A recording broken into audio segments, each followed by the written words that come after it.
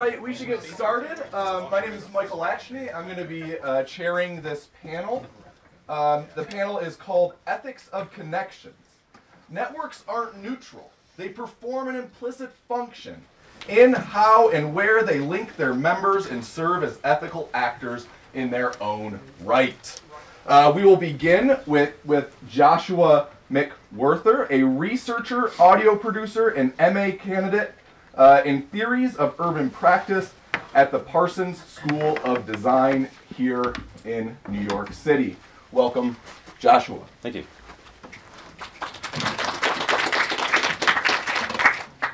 Okay, thank you all. I'm very grateful to be here and to participate in the panel. Um, so I'm going to be talking a little bit today about my research, which focuses on locative media, more specifically location-based mixed reality mobile digital media, much like the kind recently popularized by Pokemon Go. Though my interest in this topic is rooted in another locative game called Ingress, and which is Pokemon Go's predecessor upon which many of its main gameplay functions and are modeled after. So I'll discuss Ingress intermittently throughout the presentation, though I won't go too deeply into its complex plot or gameplay, um, and I'm happy to talk to anybody after the presentation about my fieldwork with Ingress in particular. So mixed reality locative media is not as new as one would suspect. And not only have I tried to historicize the medium's various iterations and gaming, art, and annotative or narrative platforms over the past 20 years, but, but I've also connected these media to critical urban issues and investigated their infrastructural and ideological dimensions, problematizing both the global pos positioning system and its military industrial entanglements, and the kinds of networked spatial logics and normative urban imaginaries that are deployed and reinforced through these interfacial media. So my research is also driven by questions that are provoked by the hybrid spaces created, created through locative intermingling of real and virtual. What new issues arise when the politics of the digital meet the politics of the street, and what new forms of sociality emerge within this milieu. However, before I dive into all that, I kind of want to fall back on some very classic theory and talk a little bit about Walter Benjamin's Arcades project.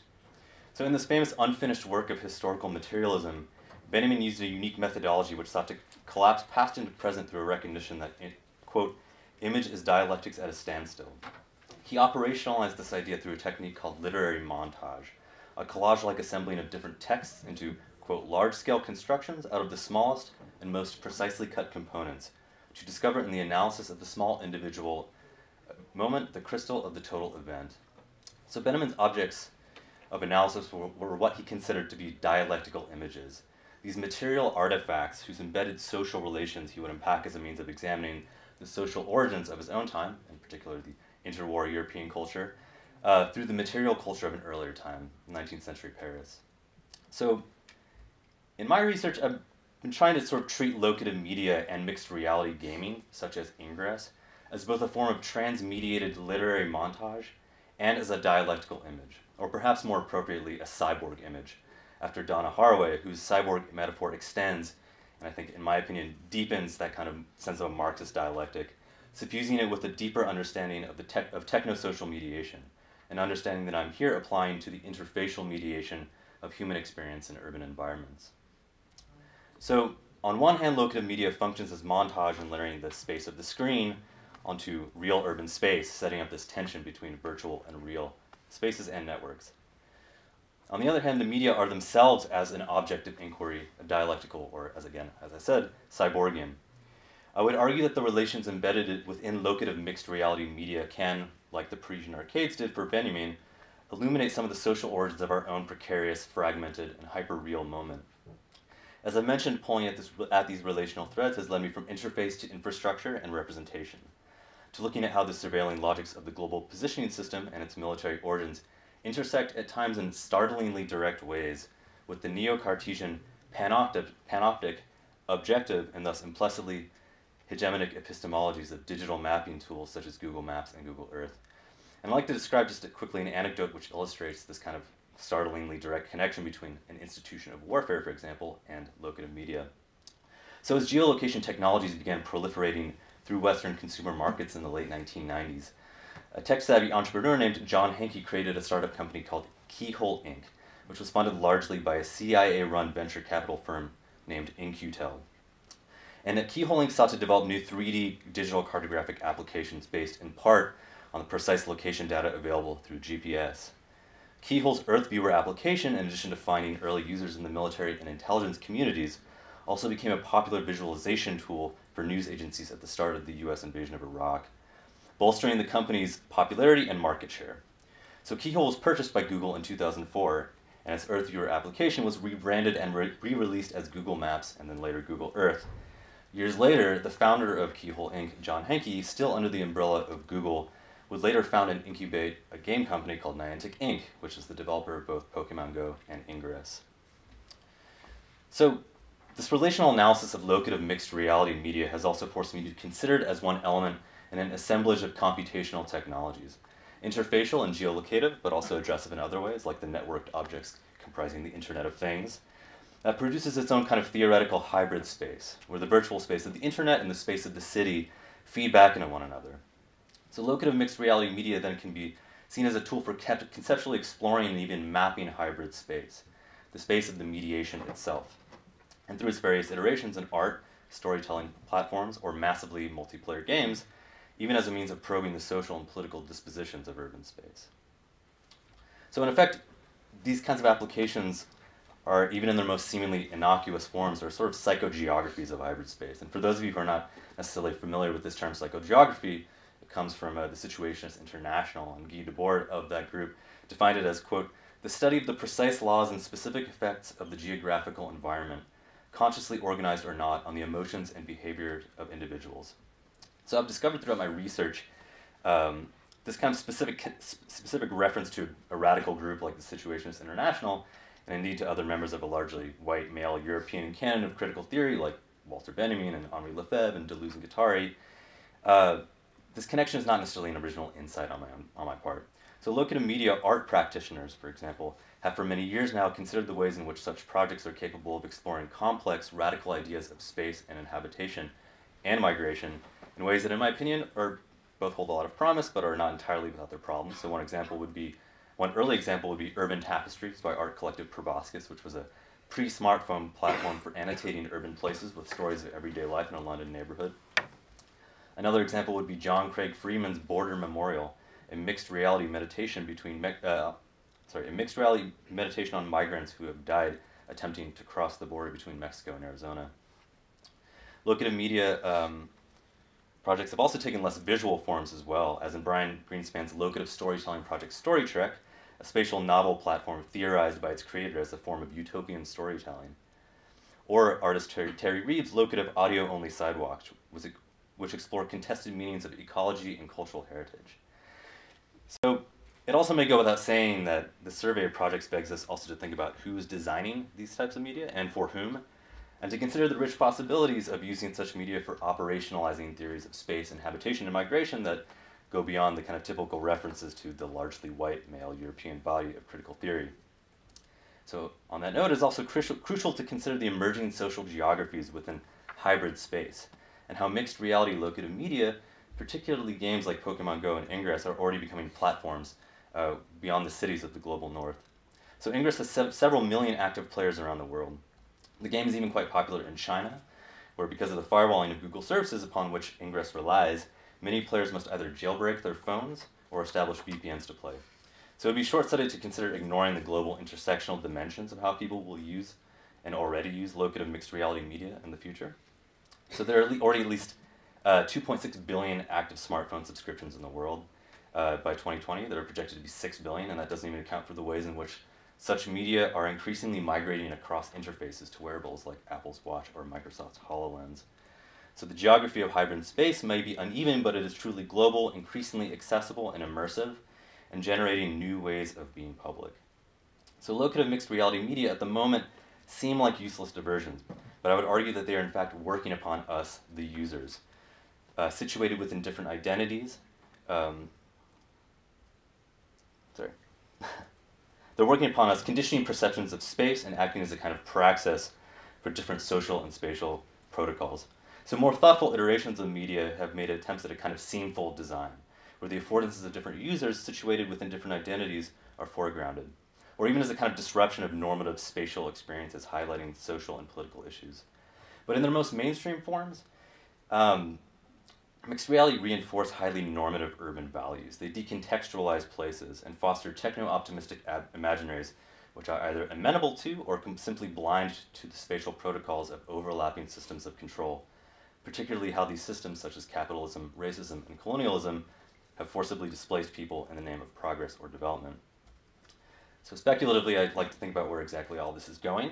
There have already been many documented cases of people using Pokemon Go, for instance, as a platform for anything from finding sexual partners to robbing people, and even forms of social commentary. And so much has already been written about how social media, despite its proprietary status in cooper- and cooperation with the state, has served as a platform for organizing major political activities, such as the ones which, as I found it today, evidently inspired conferences like Theorizing the Web. Thanks. So, in the contemporary moment we find ourselves, uh, is it so far fetched to see how these mixed reality media could be used to mobilize political action? So, going back to Benjamin's montage method may be helpful for thinking about one potential tactic within this realm.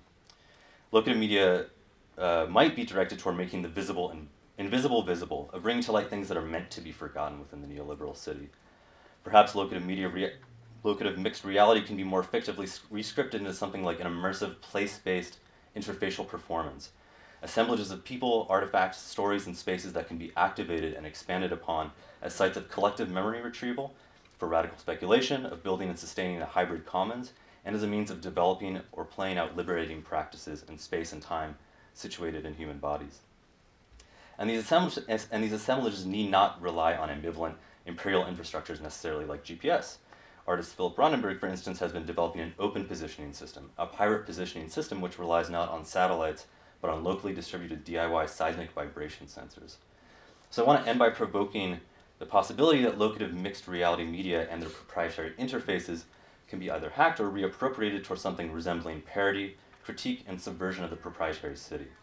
In any case, we can perhaps embrace them as a dispositioning systems, as a means of understanding and operationalizing theory through the interfaces and networks of transmediative landscapes that we already have and the ones to come. Thank you very much.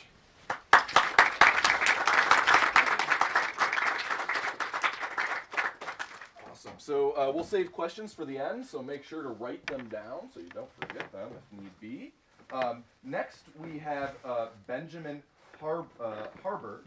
Uh, he's a PhD candidate in sociology at the uh, Graduate Center at CUNY, um, and a um, how do you say it again? Uh, Macaulay. Macaulay Institute uh, uh, uh, Instructional Technology Fellow at Brooklyn College. He has published widely on queer theory and digital media and recently organized a two day conference, Queer Circuits and Archival Times Experimentation and Critique of Networked Data. Um, welcome, Benjamin. Thanks.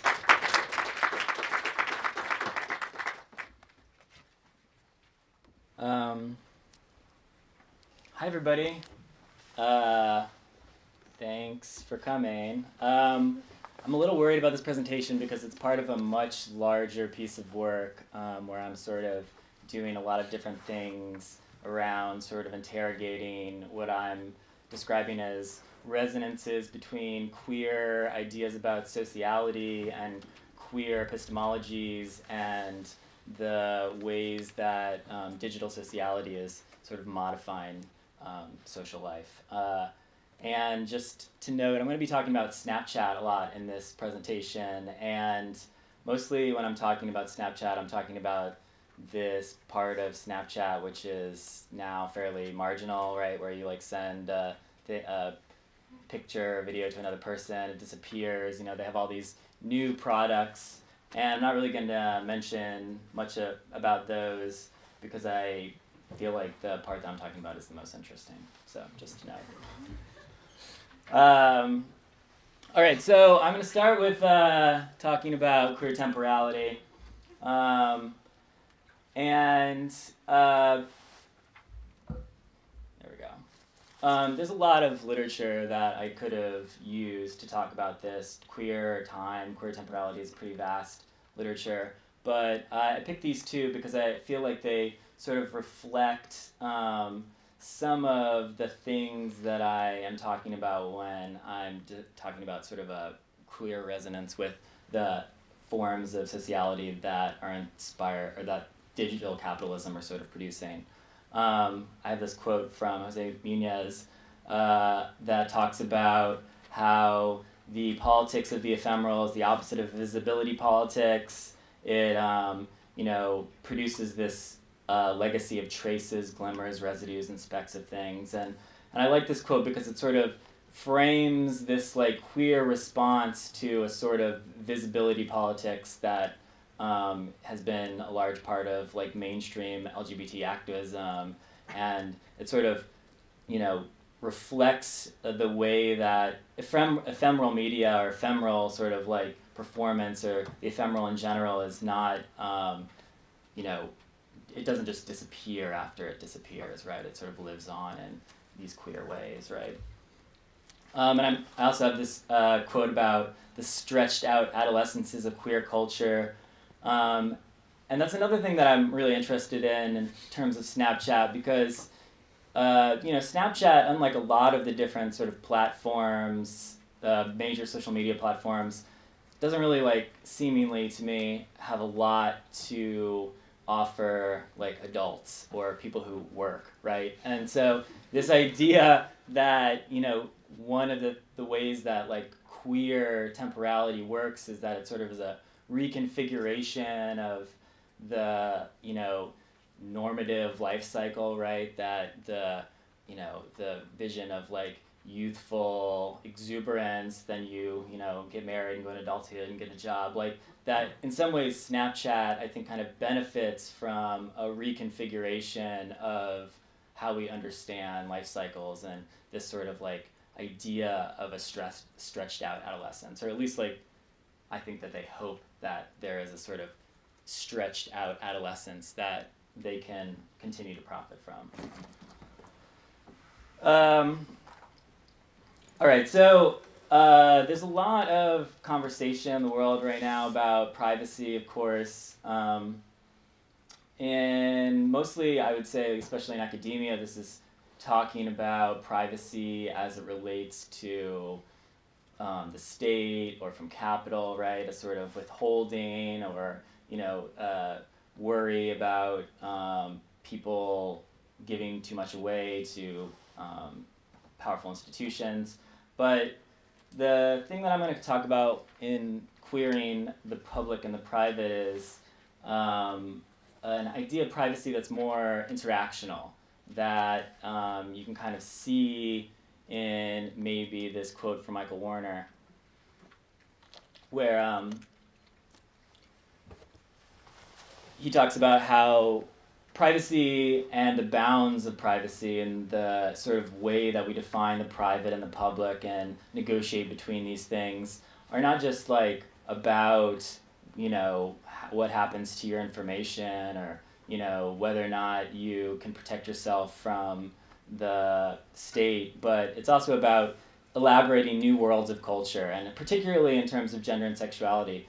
The, there's a long history of sort of queer work that complicates distinctions between public and private um, that I won't get into, but that, you know, I think that one of the ways that queer theory can sort of um, add to a conversation around privacy and digital media more broadly is to sort of think about this, um, you know, complication here. The idea that you know the ways that privacy and publicity gets talked about on the internet um, can also be sort of like complicated and, and doesn't have to be so you know binary.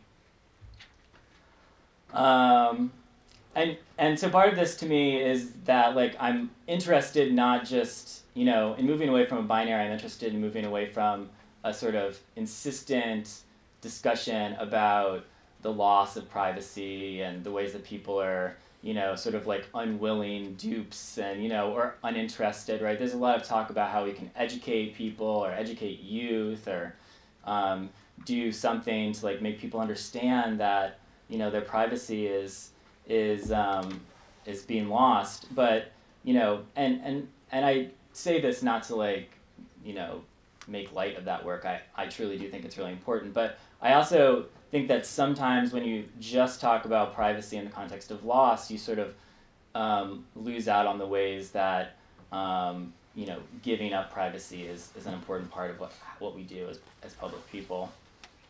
Um, and, you know, one of the things that is troubling about just thinking about privacy in terms of loss or lack or removal is that there is this thing that I'll talk about in a second that, uh, you know, when you frame privacy around loss, oh my God, um, you provide an opening for different kinds of um, profitable forms of securitization, right? And so I have this Wendy Chun article or quote right here where she talks about the epistemology of outing that depends on the illusion of privacy, which it must transgress. And I think that that's kind of, you know, gets at this, you know, idea that I I'm going to keep talking about that there's something about the way that the discourse of privacy, I think, leads us to a desire for a sort of like fidelity to companies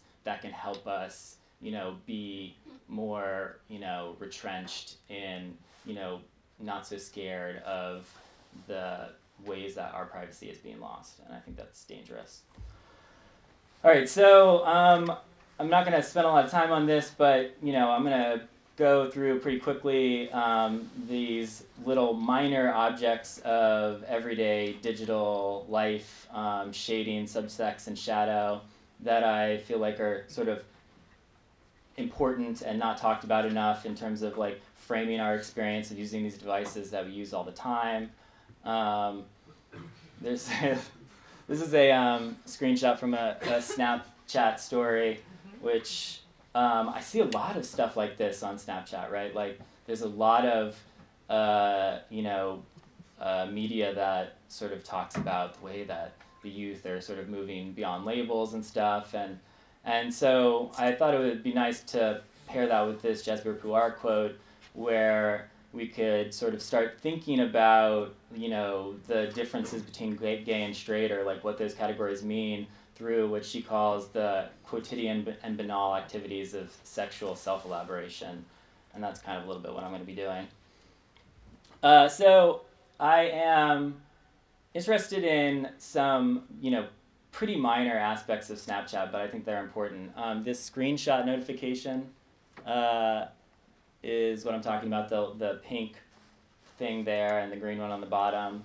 Um, you know, Snapchat often gets talked about in terms of privacy or desire for privacy or desire for you know having a sort of lower stakes um, form of communication, but you know they've actually made it a lot easier to you know save images and to take screenshots and whatever and and what's interesting to me about that is that it uh, seems to suggest a sort of gamification almost of privacy or or like turning privacy into a sort of negotiation or a kind of play, right, where you, you know, interact with people and maybe progressively send racier and racier pictures and if they don't screenshot your media maybe you'll like start to trust them. So so there's an interesting way that this like little symbol i think has allowed the sort of negotiation between people on on snapchat to be a little bit more playful and my favorite thing about snapchat that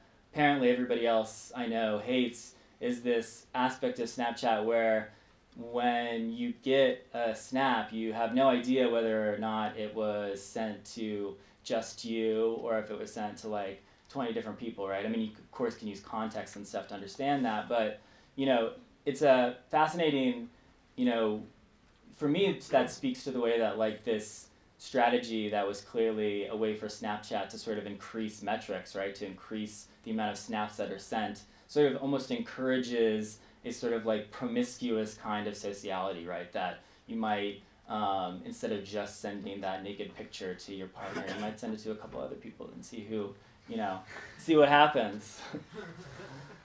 and so, oh, wow, I'm gonna run out of time. So, in contrast to that, I, I am thinking about Apple, right, as being the sort of securitization, the retrenchment, the um, ways that the scary open internet um, sort of like provides a you know form of um, comfort, right? And I'm not going to get into this too much, but I do a similar kind of analysis here of the read receipt as a sort of way of, you know, keeping you at a sort of state of alertness. I don't know how many people actually, you know, keep those turned on. I don't really know very many people um, who do, but it is. I mean, it's only my mother, really, actually. but you know, there's something like really, you know, intense about it that we can talk about later. Um, and then this find my friends thing, which I feel like really is evoked by the image itself, where you have like two people literally attached to each other, which is their app where you can share your location with people indefinitely, right? Um, and here's uh, other things that I'll just talk about later. But you know, the you know the I guess final word here for me is that there are you know different kinds of ways that uh, risk can be managed in the internet age, and I'm trying to sort of think about ways in which uh, we can imagine infrastructures where risk taking is part of the pleasure of using digital technologies instead of this sort of way of you know making people feel like they need to sort of um, move into these centralized protective like bubbles like like Apple. I'll stop there.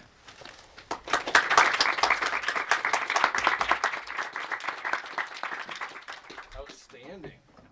Um, so next we have uh, Caitlin Turner. She is a PhD candidate at um, Carleton University in Ottawa, Canada.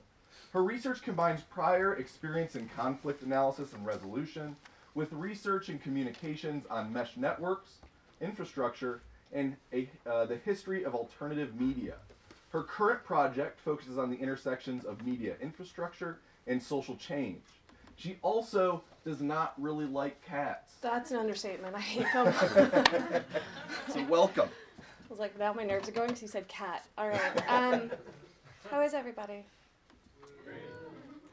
Um, like you all, I got many a very personal email, but also very alarming email about 12 minutes, 12 minutes, 12 minutes for presentations.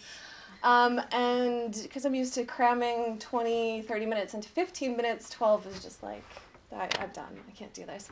Um, so I've decided to do something a bit different for myself today. And instead of presenting sort of on a formal research project that I've conducted, I want to talk today about the foundations of my research, the things that drive it, that get me up in the morning and nerding out all day by myself. Um, and I'm hoping that this can sort of spark conversation either in Q&A or after. Um, and on that vein, I also want to start with a bit of a story about a first year undergraduate intro communications course.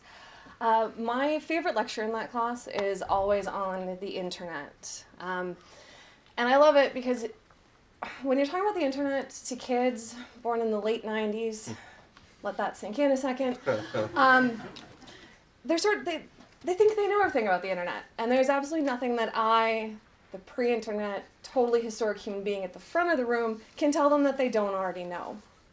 Um, I, challenge accepted, right? Like, come on, little people, I got you here. So the first thing I asked them to do is to think about the internet and draw it for me. Grab a piece of paper, just draw me a picture.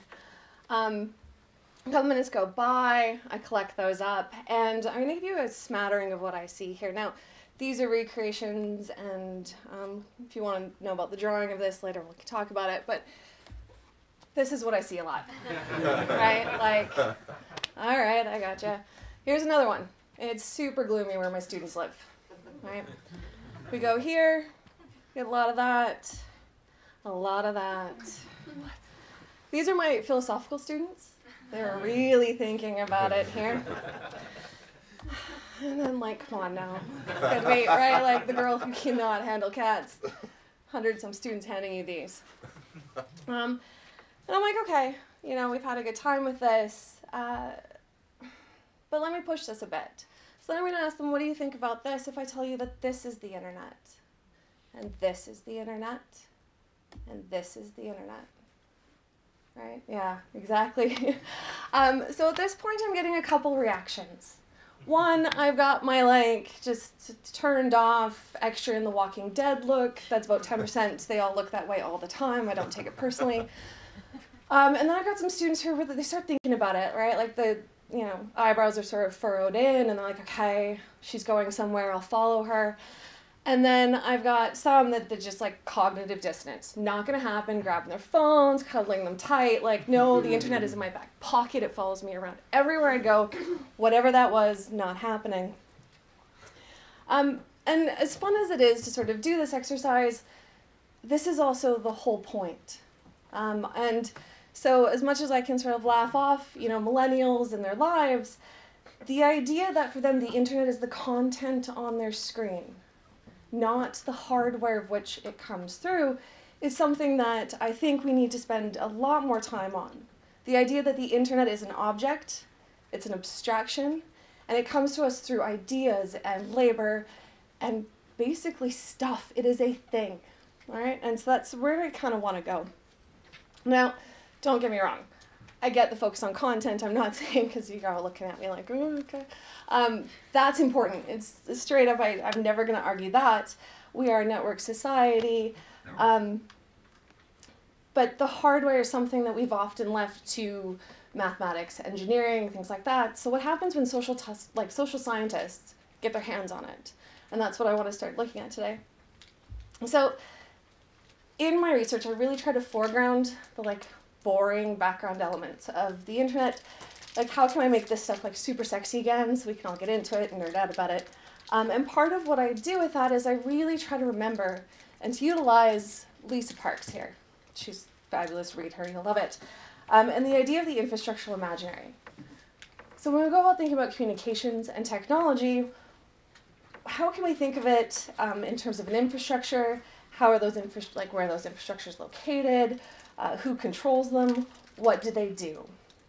And by applying this to my research, I found that there is a lot of really interesting work being done, sort of on the backstage element, um, and things that we don't necessarily see but are happening and really having a huge impact on how we experience the internet. So, really thinking of the infrastructure of communications, that's where I want to go. Um, I primarily work on mesh network development, uh, but this can apply to satellites, mobile phones, you name it. Take it, use it, see what you can do with it. Um, so, mesh networks, I don't know if a lot of people are familiar with them. So, really, what are they? Really quick. Um, a mesh network is a network topology. Uh, it's a form of communica- communication infrastructure where each node relays data for the network as a whole. All mesh nodes cooperate in the distribution of data in the network, allowing people and devices to seamlessly internetwork without the use of a pre-existing communications infrastructure. Mesh networks can operate as standalone infrastructure, or they can tap into the backbone of the commercially provided internet, providing access to a group of users by a single link. Um, in terms of mesh networks, most people are familiar with sort of the free Wi-Fi that you get in the museum here, city centers, um, coffee shops, festivals. Those are mesh networks in terms of a typology and a philosophy, uh, but they're often owned and controlled by large telecommunications corporations. Um, they often have city influence and finance coming into it. And without being totally alarmist, uh, if you have to click agree on a terms of service, you are an entangled web of control and monitoring and all those super fun things that uh, come along with that if you've ever read one of those terms of service. The mesh networks I work with are independent, they're community owned, um, and a lot of the groups that I'm looking at and that I work with are really looking at communications infrastructure from a social justice lens. So that's what I'm going to talk about today. Um, so, for example, we've got community owned and operated uh, mesh networks that are challenging issues of ownership. So, we've got uh, Chebucto Community Net, CCN. This is in Halifax, Nova Scotia. We've got New York's very own. Oh, that, ah, okay. Um, we've got NYC Mesh. They're super awesome. You're going to love them. Um, so, CCN is a registered Canadian charity uh, and a volunteer organization that happens to be the first non-profit, publicly run telecommunications company in Atlantic Canada. And then NYC Mesh is working to create a free, resilient, standalone communication system. Um, these have no central server, no central, no single ISP, right? So when we think about ownership and in the hands of groups uh, like these community groups, we don't have to sort of stretch too far to think about uh, what can happen um, with affordability, availability, speed, configuration, usage, data mining, um, when all of that is in the hands of the users and not in the hands of profit. Uh, now, this is this is this is my jam right here. Um, when we're looking at mesh networks uh, and um, social change and activism, um, and some of the most fascinating work I think is being done in this space because the real idea here is that the ability to organize um, and to mobilize to create change is really predicated on the ability to communicate without impediment um, from various groups. And that's where these two groups are really coming in. So the first ones that comes to mind is the Free Network Foundation. They're really uh, active during the Occupy Wall Street movements. They put up freedom towers, is what they call them here, um, in the encampments. Encampments, and from there they were able to provide an alternative communications network to activists.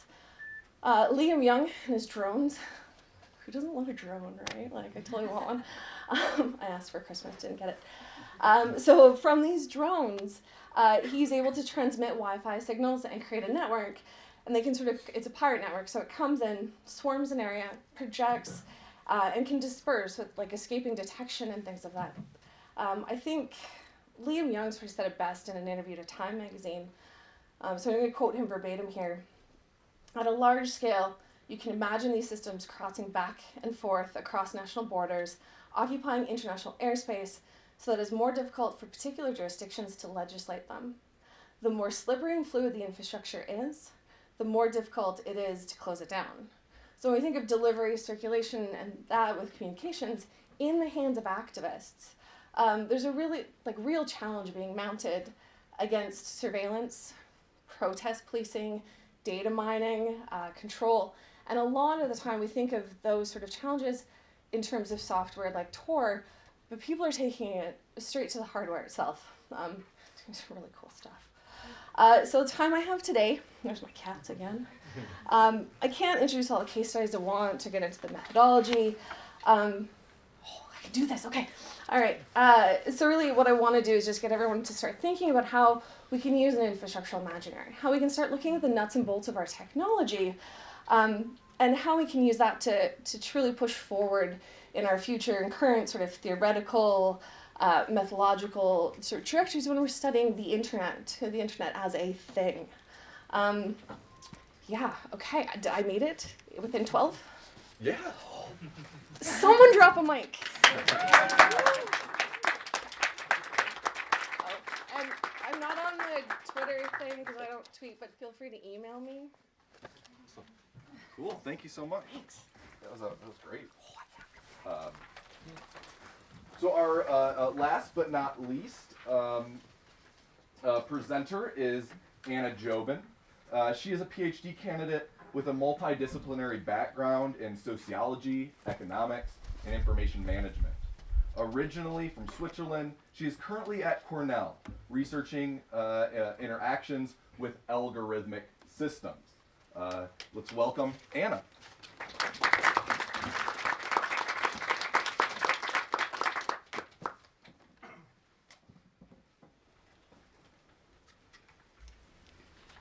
Okay, hello everyone. Thanks for being here. Uh, thanks also for these fantastic insights uh, from my fellow panelists. I'm looking forward to the discussion.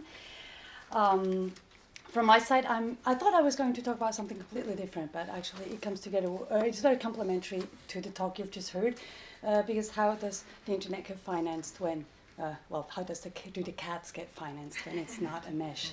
We don't have time for this, so let me ask straight away: Who of you has heard of Macedonian teenagers lately?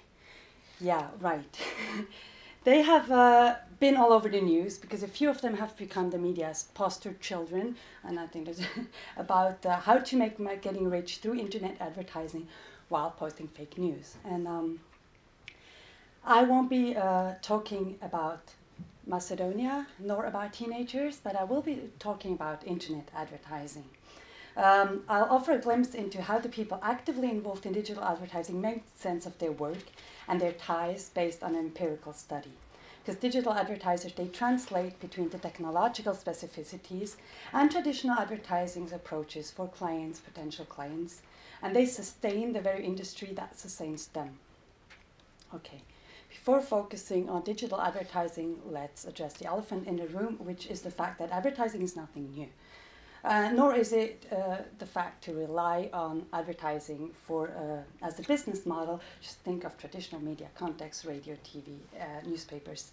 And much like traditional media context, digital advertising is a key source of revenue for many contemporary corporations, although its place and role within particular markets may uh, vary. And some things are new with digital advertising. There's, of course, the technology, but there are also changes that are concomitant with this new medium, uh, such as easy access to abundance of new metrics, possibility of personalization, and these changes are also reflected in a somewhat modified industry structure that privileges vertical integration. Let's talk, for instance, uh, let's take, for instance, audience metrics, which have been a crucial commodity within the media industry because audience metrics inform media and advertisers about their potential public. And different kinds of methodologies and data coexist in what has become a well populated and even somewhat regulated sub industry. They're not only media outlets and advertisers, also audience metrics agencies, and even an institution auditing the rating agencies. And the purpose of audience metrics has always been to know as much as possible about the audience opinion, interests, and they have been conceptualized through survey evaluation, extrapolations, or inference. And the knowledge, or I would want to insist on the fact rather claims of knowledge about the audience's interests, di- they direct advertising and thus money in certain directions rather than others. That's why they're crucial. And with digital advertising, the whole advertising ecosystem has been impacted because there are not only new ways of advertising, there are also new ways of making claims about knowledge about the audience and its interests. So digital platforms such as Facebook and Google, they provide not only the medium within which the ads will appear, they are the same ones who also provide their own metrics about their audience and its interests, as well as their own dedicated algorithmic platform to create and manage the digital ads and to access the metrics. So there exist several kinds of digital advertising and some of them work differently, but I focus uh, my attention of one particular type of Google ads, the search ads. Um, founded, so Google doesn't need an introduction anymore. But what needs to be said that it has been uh, become Alphabet is now a market value of over 500 billion dollars. And although today we can talk about self-driving cars and so on, it still generates most of its revenue through its initial business model, which consists of search ads, pairing advertising to search queries. But to do so, Google relies heavily on other people, on digital advertisers notably. So when thinking about online advertising, digital advertisers are often overlooked because the focus is mostly on platforms or on users. However, these advertisers, uh, uh, and be they marketing managers or account planners or whatever their job title, uh, they perform crucial work for Google and for Facebook and, for, and the likes because they act as intermediaries between the digital platforms and the internet users and the advertising clients. And these advertisers must show a specialized understanding of the algorithmic platform, of the digital audience metrics, as well of the specific market logics. So in my research, I propose to consider online advertising as a result not only of data and of algorithms, but also of a set, a set of activities and narratives by specific actors who must make sense of this new complex technological environment and new uh, uh, way of making knowledge claims. Therefore, in order to better understand online advertising, it is crucial to understand what participating stakeholders make of it. Which brings me to online advertisers. Again, uh, it's just an overall, it's just an overall term because no matter the name by which they go, for my purpose, they hold not only a very important position in their industry. I do find that they are also key actors for research because as experts, they are bound to have a discourse about what they do and which is great when you interact interaction with algorithms because uh, people like you and me, if I ask you why did you click the way you clicked or Google put in the words in Google the way you did, I don't know about you, I wouldn't be able to articulate it because it just happens the way it does, and I could find uh, justification afterwards. But Google, but digital advertisers, it's their job to know what they are doing and to be able to explain what they do and why they do. So in the time I have left, I would like to present some preliminary results of my ongoing research project that looks into algorithmic advertising. And um, the results are based on multiple hours of qualitative uh, in-depth interviewing with uh, digital advertisers in an ethnographic setting. And while there is so much to be said, I will focus on three particular points that seem interesting and interlinked. So the first one is how uh, advertisers make sense of digital advertising in general and their role in the ecosystem in particular. And uh, we're at the conference about theorizing, so let me just point out that the theory of sense making, the sense making approach by Karl Weick, it provides great analytical tools to situate the individual discourse in organizational, temporal, as well as social settings. So digital uh, advertising, the people I spoke to, uh, they almost all seem to agree spontaneously. They said things like, well, digital advertising is inevitable anyway. So that was one of the words that I kept hearing. It's inevitable. It's, it's there anyway, because how, otherwise, how would the internet get financed? Um, I, I like to extra to propose this with your talk, right? Because it could be otherwise. Some even went as far as to laud their work of tweaking ads and ad campaigns as being beneficial for internet users. Uh, to say, or to say with a quote, since there has to be internet advertising, it might as well be relevant. And so, um, Although they point out their unique position as experts of the advertising platform in question, they don't necessarily see themselves as active contributors to the overall advertising system, but merely as professionals who simply execute according to almost obvious rules created by Google and the very existence of the internet. So this almost ambiguous stance transpires also in the second point, which is their relation to Google. Because of the in-depth interviewing, it was easily possible to have answers that went beyond the official declarations. Uh, uh, as the interview goes further and further, we started very formal and it became more informal uh, after some time. And often at the beginning, no contact with Google was mentioned, but the longer discussion uh, went on, the more eager they were to actually point out how well they, they, how, how well they go on, get, get on with Google because the digital advertisers I talked to, they were certified by Google, and most of them uh, have a they have a relatively uh, frequent co contact with Google's key account managers, people at Google who are available and help according to budget, number of clients, and so on. And so one advertiser would even say, depending on these parameters, Google will roll out the red carpet for advertisers. Well, of course, they make the money, you would say, but I, I like that analogy. Um, and when the, sometimes the privilege, however, it breaks down. For instance, when there's a new uh, when there's a new feature about how ads get uh, displayed that was not uh, that was officially announced, but then one advertiser would say, "Well, why didn't my account manager didn't tell me that before?" But then again, probably they didn't know either, and which shows that those key account managers they don't have the advantage of actually knowing better. They're just inside the company. But yeah, and the, and so, oh yeah, at the beginning, often people speak Google. What is Google when they speak about it? So that's another thing I was looking into. Google is often at the beginning, it's the website and the algorithm or data or provider of algorithm data. The longer discussion goes on, the more and more Google is referred to as a company or uh, as embodied in certain of its employees and very rarely only, but that's why I like it even the better, those different instances, algorithms and people, they get conflated as they do in this quote about Google. These people really exist. They're not at all black boxes, because I don't think anyone said people were black boxes. It's rather the whole thing, algorithms are black boxes, but I, I, I should have illustrated that better, right? People as black boxes. Whatever. So, um, the third point is related to what I said before, which is that digital advertisers must not only be experts of the digital, but also of the traditional advertising. And it shows in the way, in their rhetoric, how they try to uh, navigate different worlds and they are in between. So they must be ad, um, they must adapt uh, what they know about traditional advertising to the platform metrics and vice versa. They use concept of traditional advertising, uh, so like they speak of the sales funnel and so on. But the same person who would use that example would later on say, well, actually, you know, the concept of sales funnel it doesn't even apply anymore because everything's different now with digital, and uh, you have that at different point of the conversation. And I find it really telling the fact that they have to navigate in between making sense of it on the one hand, and on the other hand discrediting. So I, uh, I find that a strong indication that they are between the two worlds and constantly having to translate between the two. Their clients benefit from their expertise, and in a certain way, Google benefits from their free advising and advertising for their advertising system. So, to conclude, it can be said that digital advertisers navigate a complex socio-technical environment where they make sense of formal but also many informal norms conveyed by a technology largely outside of their control on the one hand, but they reenact themselves the belief in the way this technology works in activity and discourse on the other hand.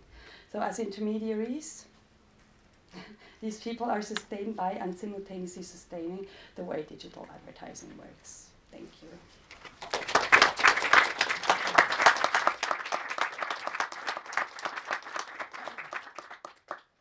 What an, what an outstanding uh, group of theorists. We're going to open the floor for questions. Um, before I before we do, I want to make an interesting observation that in, uh, we all talked about, we all talked about infrastructure, and um, you know in infrastructure studies, it's often assumed that infrastructure is invisible, right? It's cats, not the servers. Um, and so I was wondering to start off discussion, how is it that your work either reinforces this idea that infrastructure is invisible until it breaks down, or uh, does your work challenge that idea? Anyone can start. I guess I'll take it um, right off the top. Oh, do I need to use this? Yeah, because of the Okay. last one. Um, my my research is a direct response to that. So there's a lot of theorists in sort of the critical communications infrastructure world that say, you know, we don't think about it until it's broken, right? Like if I turn the like the internet went off right now, like everyone would gasp, computers closed, like there's a thing, you get that it's there. No one right now is thinking about the pipes of water running under us. If it burst, we're thinking about it. Um, and sort of one of the that's one of the reasons why, at least in, in the field of communications, I think uh, there's been a lot of work that sort of jumps over that and goes straight to the content and goes straight to the screen because that's where the really cool stuff that we can see right now is happening. Uh, there's a whole bunch of stuff that happens before it gets there, and what I want to do is sort of make that cool again and get that going and look at it before it's broken.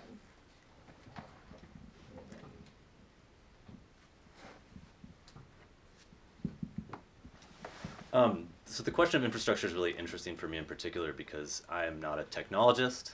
Um, I'm an urbanist, and so a lot of what I've studied actually relates directly to infrastructure. And there's this kind of idea of infrastructure as sort of a phantasmagoria, right? Which is kind of speaking to the fact that like you sort of take it for granted uh, until it's broken, but also you sort of take for granted the sense in which infrastructure defines like e- the essential elements of like our culture and like even our humanness in a way. And to make this sort of to use the example of what you just uh, mentioned about pipes breaking, you know, it's like really basic infrastructure, things that we kind of take for granted, are really modern phenomenon, right? Like they're basically only about like 150 years old. Um, and in fact, there's sort of different ways in which kind of quality of life are defined by access to those infrastructures, and that's very unevenly distributed. So it's really interesting to kind of consider that in light of these sort of uh, sort of high technologies or digital technologies as well. Else? Or we can open the floor for questions. Um, I found uh, um, this uh, talk is entitled, I mean, this conference, uh, this part of the conference is uh, entitled Ethics of Conne- Connection. And I found it interesting that none of the panelists actually mentioned the word ethics in their talk. And so I'm wondering if that might be somehow a reflection of the nature of the web, or does the web actually suggest some sort of ethics by its very nature? Yeah, it's all you. Yeah, I, I would like, I would like to ask uh, the organizer of the conference why they put that title uh, on our panel. because I find it very interesting to, to find myself in it. But um, so, so there's the word. Then again, yes, it's not the word ethics. What I find really interesting, and what I probably had also in my proposal, is the words about social values. So what social values? Uh, what are the values that get uh, uh, embedded or not, and where do they come from? So do they come from? That's one of, one of the questions I ask. Do they come from the advertisers? Do they come from? Are they embedded in infrastructure, the way technology works, uh, or how does it work, and how do they circ- circulate? Unfortunately, I don't yet have many answers to this, so I didn't feel ready to present it uh, today. But that might be a hint uh, to answer your question. What she said.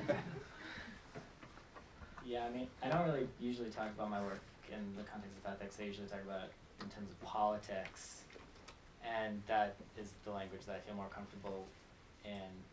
So yeah, I don't know. I don't really have a lot to add to that. Well, uh, Anna, you, you just brought up a really great point, which is like the the question of value and what we value and how that uh, is interpolated into kind of the logic of the network. So, partially in my talk, which is about these like locative games, right, like Pokemon Go and Ingress, like what they do is like they kind of within the logic of the game express what the developers of those games value, at least in an urban environment, right? So what gets to be a part of the node, what what gets to be a node in that network, right? And in the case of those games, it's always like, you know, businesses. It's always these really normative landmarks, right? Like tourist destinations, right? Which in the case of, you know, a place like New York City, it's like you find that the kind of uneven and unequal geography of the city is completely reproduced in the network of the game, right? And that's uh, really like kind of gets to this question of value and how certain values are expressed through networks.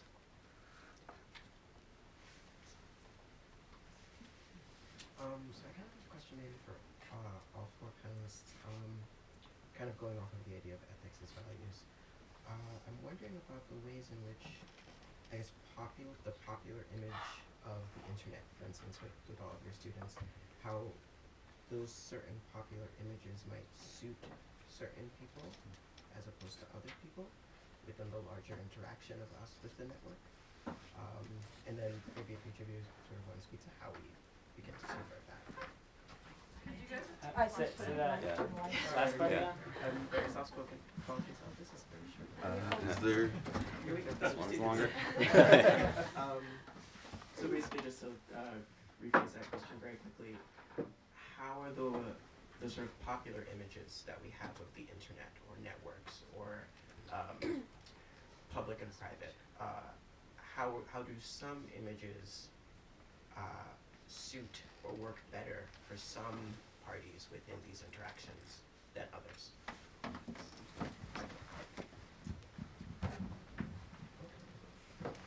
Does anyone want to start that? Sure. Go. No.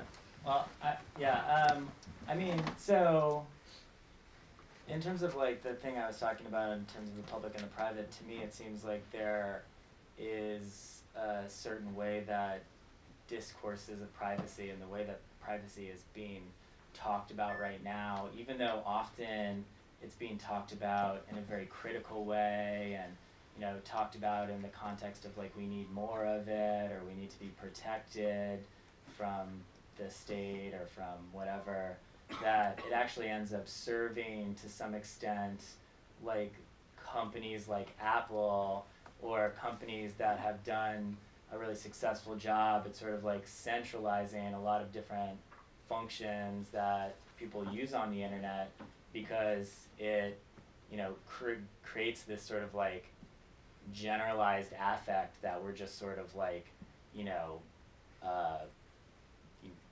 passively or without thought like distributing stuff all over and that it's kind of like hopeless for us to imagine a sort of life on the internet that isn't sort of like locked down and proprietary um, so yeah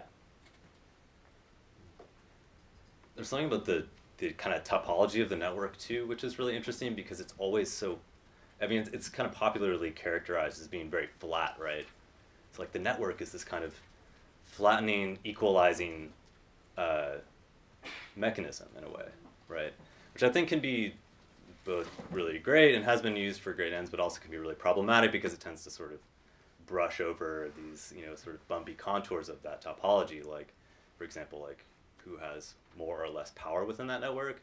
So in a way, I think like that sort of ide- idealized version of like a network as being pure horizontality in a way can serve ends that sometimes are like great, but also not so great depending on who's really employing that that particular metaphor. I guess.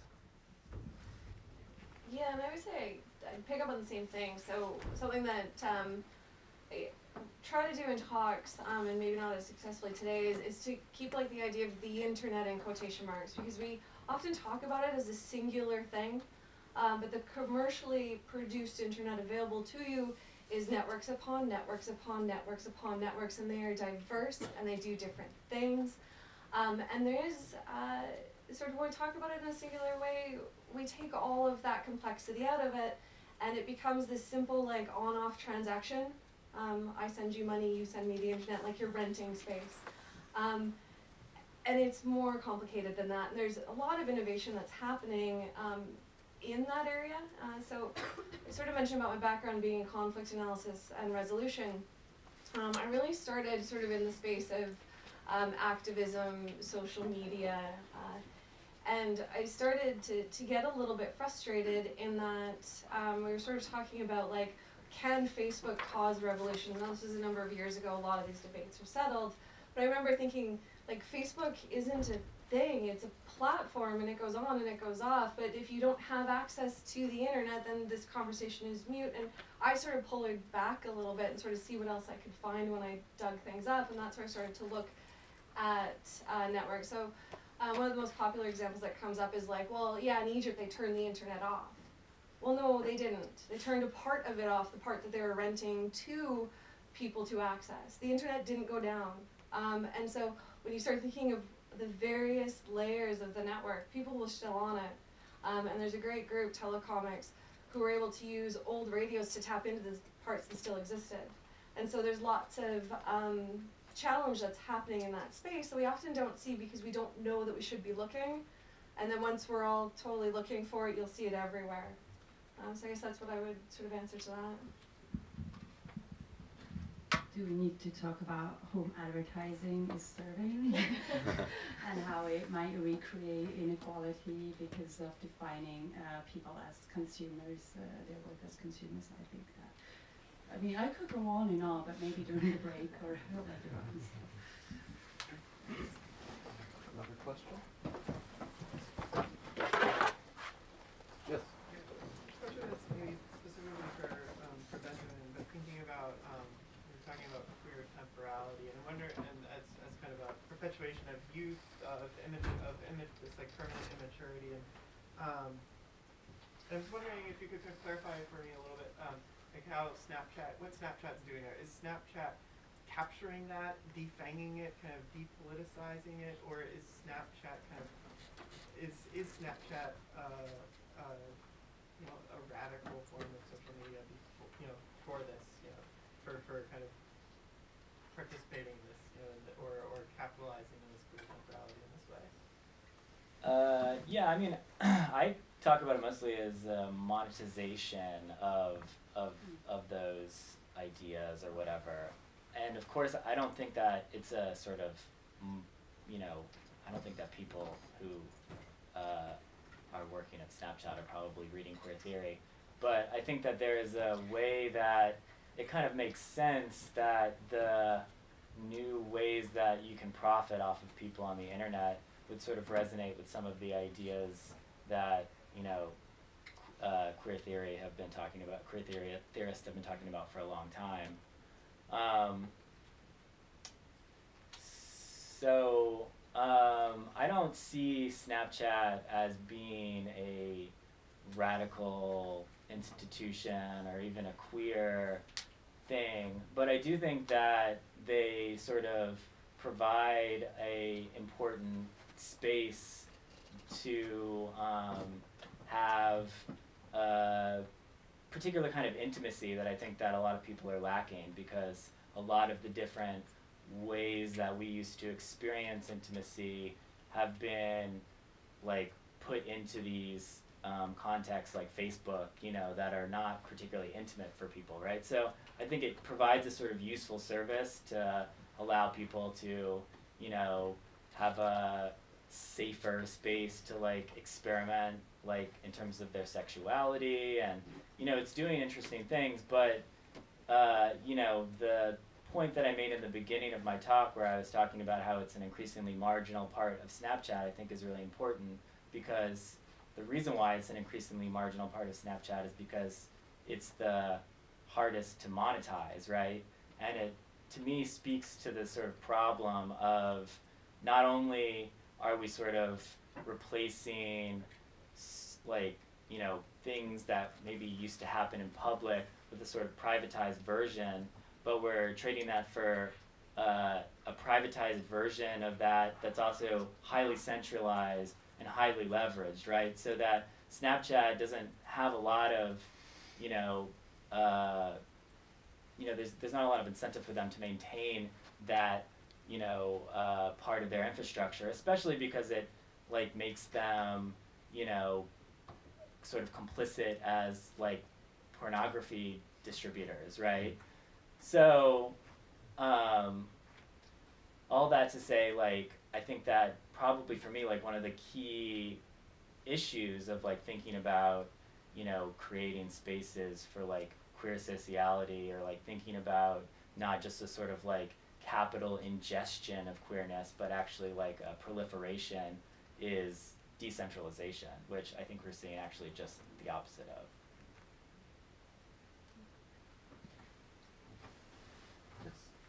Hi, um, I'm curious. I know you all have some issue with uh, the idea of ethics and that vocabulary, but I am curious about that de- decentralization and how it could interact with ethics in a kind of negative way. Uh, I've been working recently on advertising and child exploitation on YouTube, and when you talk to YouTube, when you talk to advertisers, when you talk to uh, content creators, they all say it's not our responsibility. They kind of blame this decentralized platform, even their own platform, like even YouTube. They say 400 hours of content are uploaded every minute.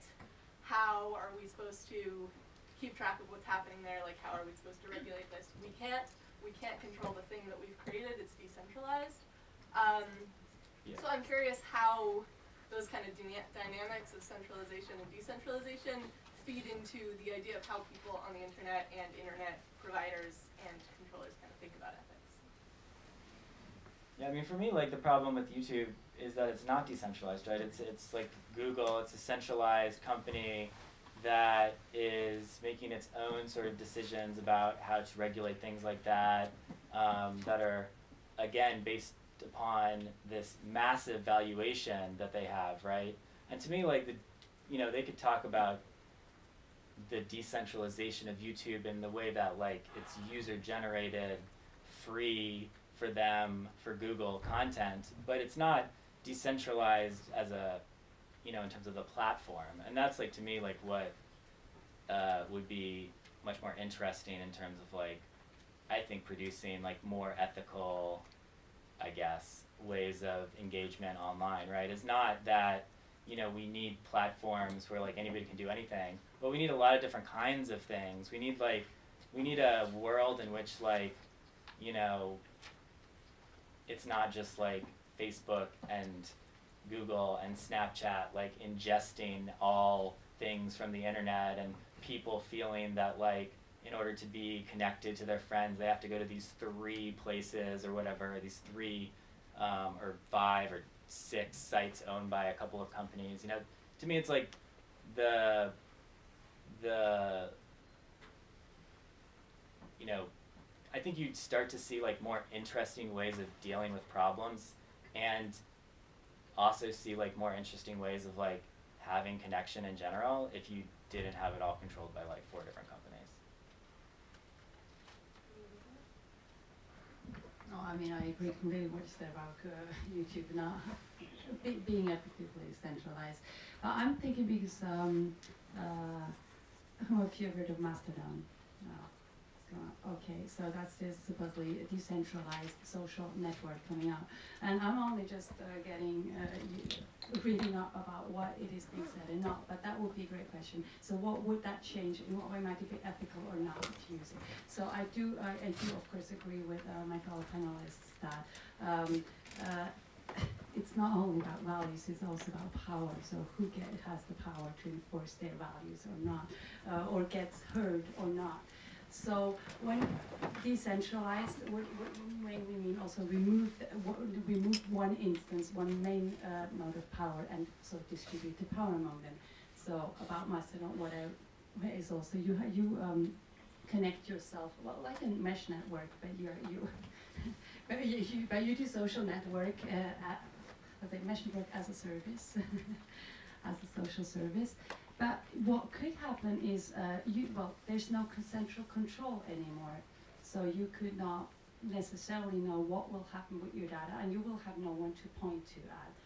Of course, you put those on a balance. I mean, I know which side I'd probably be on personally, but that would be uh, one of that would be one of the points we could discuss. As long as there is a company behind a service they provide, you could theoretically have in legal institution in place and you put count, accountability or not on those uh, institutions. When it's entirely distributed, it would be much more difficult when something goes wrong. But then again, I mean, we have to figure out those things in a way.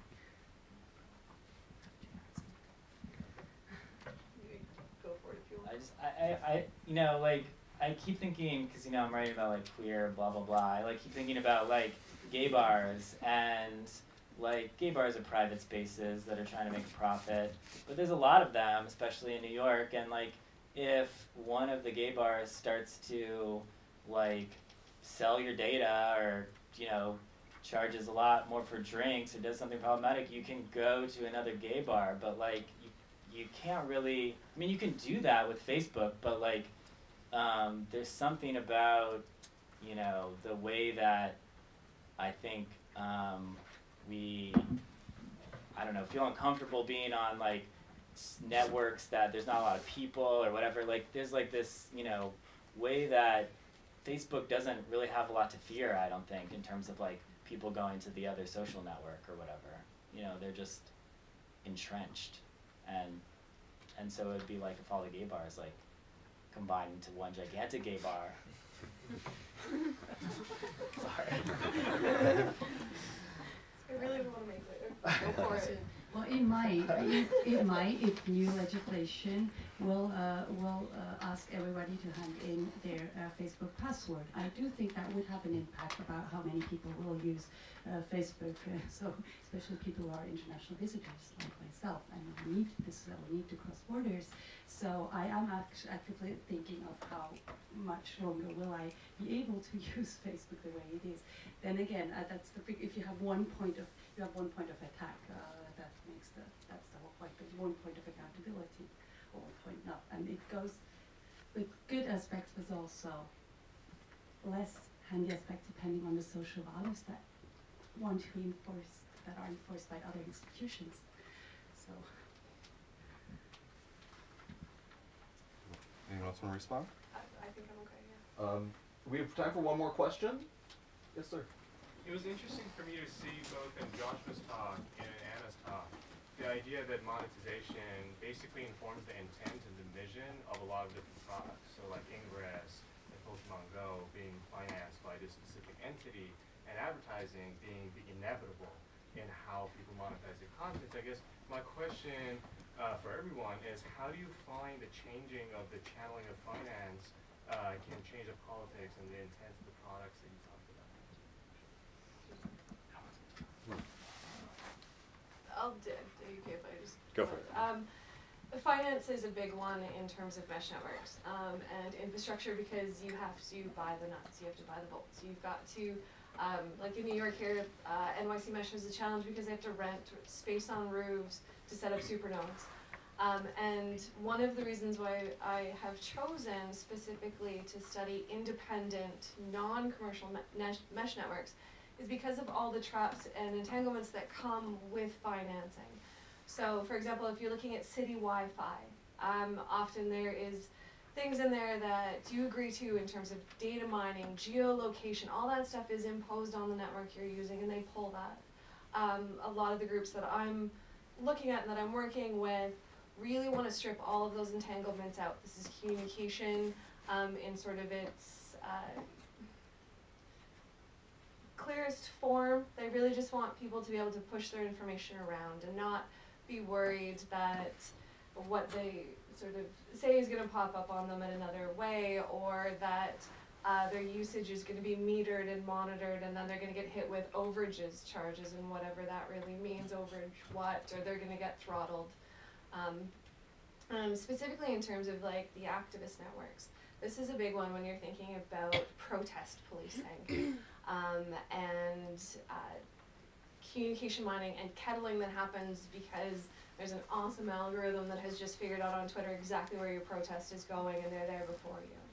And so these sort of um, groups that I'm looking at want to strip all of that out. There's like uh, CCN um, is a non-profit, strictly non-profit, um, and depending on uh, how you want to sort of participate, um, there are memberships that allow you voting rights because it is a community board um, and everything goes to a vote. And so, in that sense, there's sort of this idea in some of these groups that um, every time you take funding, you take the entanglements that come with it. And so they're working very hard at uh, making sure that those streams align with what it is they want to do. So um, I want to. Uh, I was told we need to keep a very strict time, and we're unfortunately out of time. So let's give our panelists a round of applause for Theorizing the Web. sure they'll be around to answer more questions. Thank you.